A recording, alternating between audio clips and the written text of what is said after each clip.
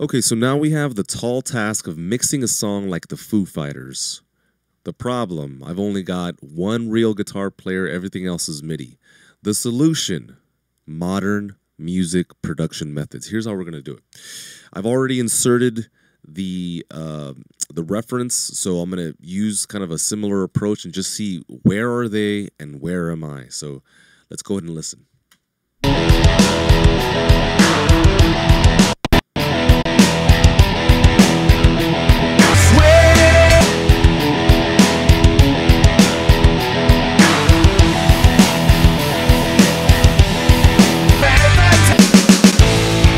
Okay, good news and bad news. The good news is that our tracks are actually not that far off as far as loudness. The bad news is they have a lot more weight and color and dimension than my track. Check it out.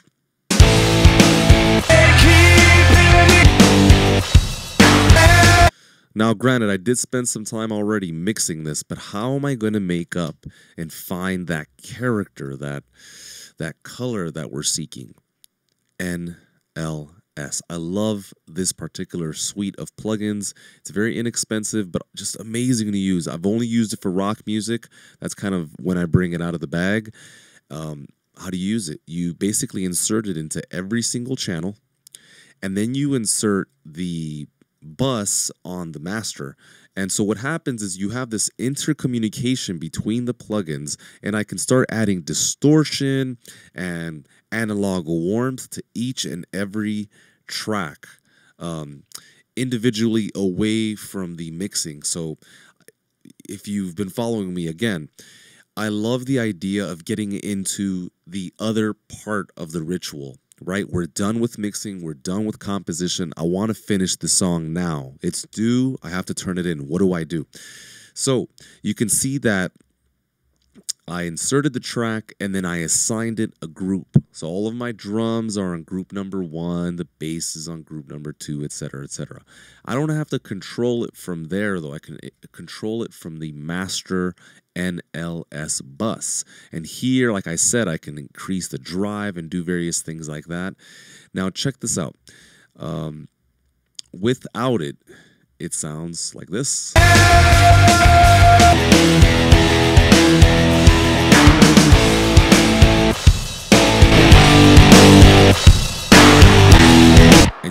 We got a whole lot of weight coming in now. Now, this is a little out of context because I have to put in the rest of the mastering chain in order for this to make sense. Let me bypass it again. Let's listen.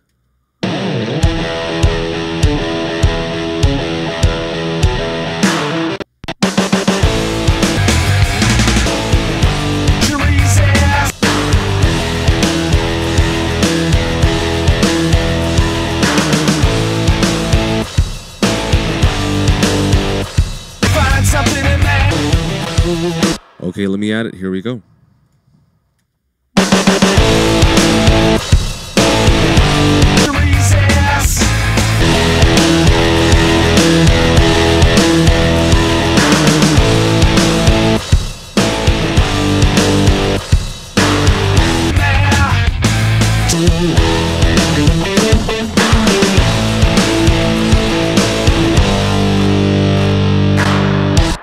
Great.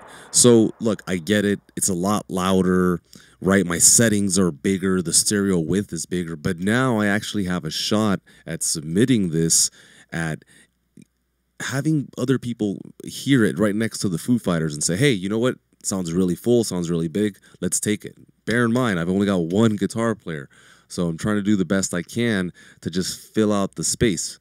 Isn't that what we're supposed to do as producers? We're supposed to fill out the stereo spectrum. We've got two speakers or two headphones, and we have to fill them up to the best of our abilities without, uh, you know, diffusing or or uh, clouding up the space. It needs to be clear.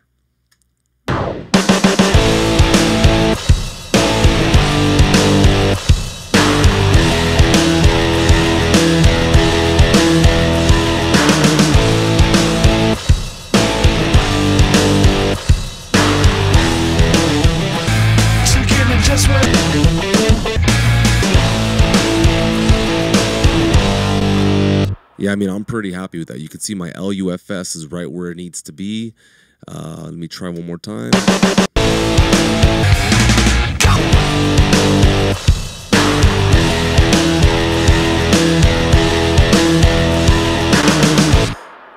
And then also a word of advice if you are going over or under by 3 dB, I highly recommend you start separating the frequency bands so you can really start to tailor your master.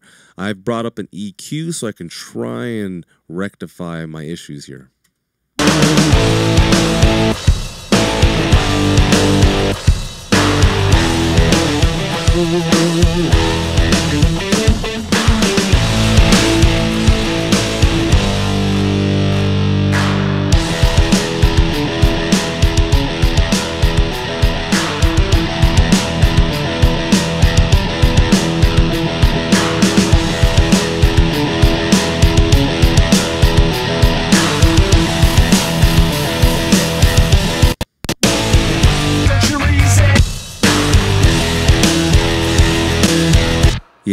Happy with that. Bear in mind, this is also a song that has vocals, so there's that to consider.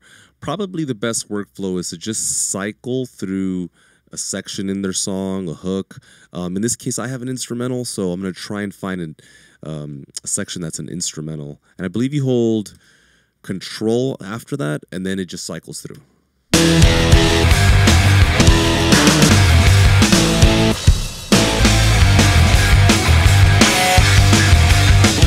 Yeah,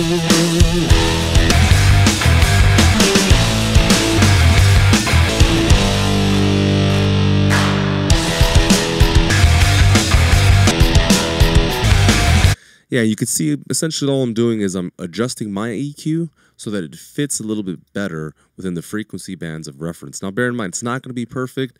I never use any of these metering tools as a way for me to lean on them and and try and fix my problems. You know, you have to know how to fish. That's the only way this is ever going to work. But to have these visual indicators um, is a godsend. That's for sure.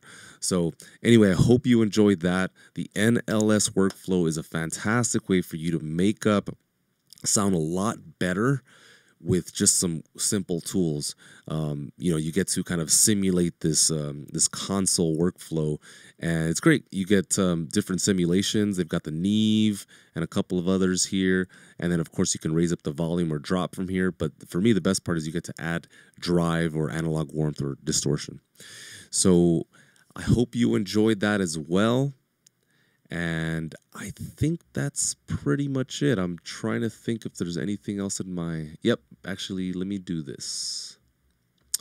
So, like I said, if there's a bump between three and five, above or below, please consider boosting or reducing in that um, frequency band. That's kind of the way to do it. Um, this plugin's incredible. You get to A, B, a bunch of different tracks, up to 20. Um, I love it particularly because you get to uh, find the EQ balance punch, which is something that you you know is, is not that easy to hear. So that's one of the big selling points for me. And then of course the stereo width. Is their high end information a lot wider than mine? And if so, what do I do about it? I love that you can solo the uh, individual frequency bands, which I didn't show you. I believe you just control click each one and you can literally hear their low end against your low end. It's um, by far the best thing ever.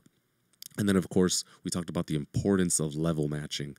Um, what I recommend build a collection of a bunch of tracks and then start to analyze their information with yours low end, um, high end, things like that. Excuse me.